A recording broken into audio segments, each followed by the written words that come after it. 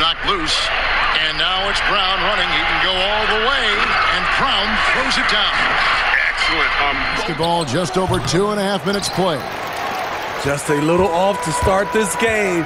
One for five, looking to find some kind of rhythm. And the basket is good.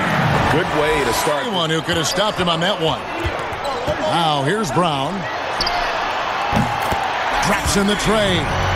Taylor taking his time here.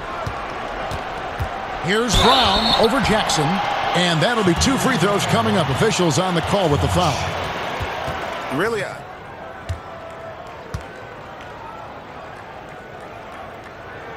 And the second free throw, good. Back to Jackson. Shoots over Brown, and it's blocked by Brown. And finished off by Brown. Straight power, homie. I mean, he ripped it.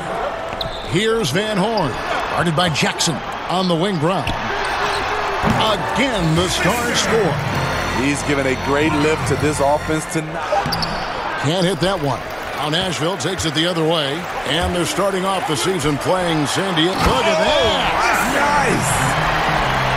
Wow, and that sort of showmanship is just deflating right now to a team trying to get back into a game's pass to set up that one.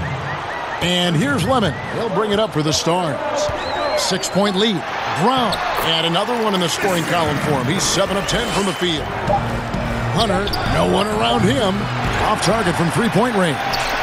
And even without that three ball dropping for him, the defense should have done more on that last play. Now flying high and throwing it down.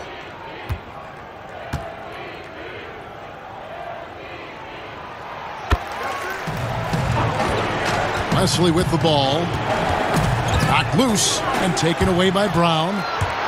All alone, and Brown throws it down. And I think that play sort of 13 feet away. That doesn't go either for Brown. Ugly start to this half, hitting just 20% from the field. Gotta pick it up. And that's out of bounds. The serve will retain possession. Here's Clutch. Now here's Ross. Defense. Oh, wow! Wow. No good. Great D that time from Green. Now the pass to Chan. And he caught that pass in full stride on his way.